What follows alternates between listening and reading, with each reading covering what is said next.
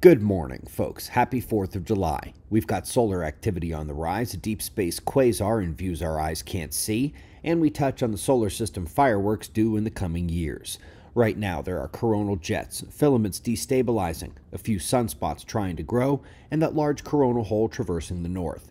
Solar wind perturbation overnight drove another minor, lowest level geomagnetic storm, aurora at high latitude. Next coronal hole stream will impact in another day and a half or so. So let's go to that eye candy. Looks innocuous in optical wavelengths, and then the X ray light shows the nested cocoons of plasma excited by the central powerhouse core. Radio wavelengths reveal the jet of the quasar, and in the composite image, we realize how little our eyes are prepared to understand the heavens without radio, infrared, X ray, all the different wavelengths.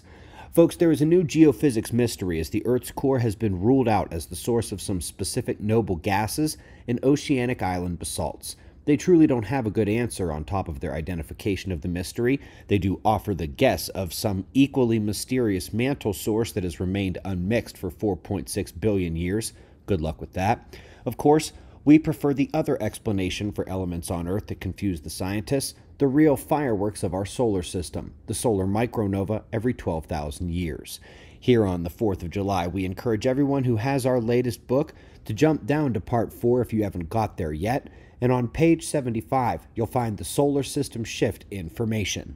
The entire solar system is changing, including the dust content of interplanetary space and the sun itself. By the way, the PDF versions of our books are now available again as part of the new Observer Ranch suite. Physical copies of the books are still sold out and otherwise unavailable, but PDFs are fully searchable by keyword, and you can always print it out if you want, which would probably be cheaper considering how expensive shipping has become. For those ready to read Part 4 or who already have, please also don't forget the big additions that came out right after our book did. Neptune plunged into an ice age just after Pluto's atmosphere collapsed, and of course, after being trolled by astronomers who said micronova aren't a thing, all of a sudden, they're a thing.